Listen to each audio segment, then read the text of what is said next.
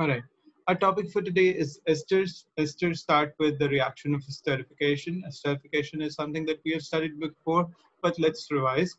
Uh, in this case, an, a carboxylic acid, this specific case carbo, uh, ethanoic acid, will react with an alcohol, in this case ethanol, in the presence of a catalyst, which are actually a few drops of concentrated sulfuric acid.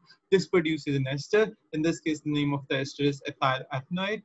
And uh, you can see the reaction in front of yourself that uh, the acid and alcohol combine and it gives you a bigger structure and a small water molecule. Uh, we'll discuss this reaction a little later, but don't forget the concentrated H2SO4 is acting as a catalyst over here. This type of reaction is known as esterification. The structure of ethyl is shown below. This is the structure of ethyl. Uh, the ethyl part comes from the alcohol while the ethanoate part comes from the acid.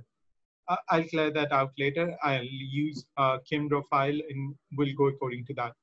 Now, ethyl ethanoate is just an example of an ester. This family of compounds, uh, these are the physical properties. Please mark them.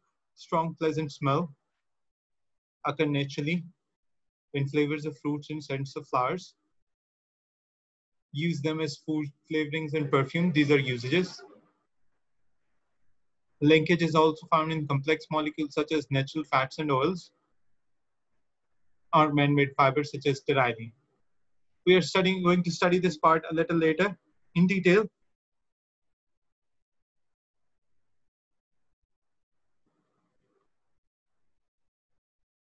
In chapter number 11, all right? uh, as you can see a table in front of yourself, which gives you the uh, natural flavors or smell of the specific fruits and the esters for that. वो वजह जिसकी वजह से हमें flavor आता है. Don't forget that flavor is a combination of smell and taste. Okay? Uh, so either it's just the smell or it's the flavor as a whole. Okay? It's because of an ester.